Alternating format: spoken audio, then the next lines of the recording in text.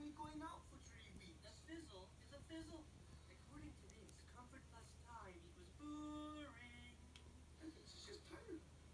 Tired or tired of you? Fine. I just wanted to dance at your wedding,